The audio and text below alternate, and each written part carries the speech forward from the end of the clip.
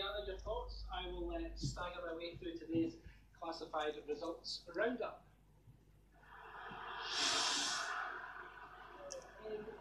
William Hill Scottish Cup. One semi final play today finished Motherwell 3, Aberdeen nil.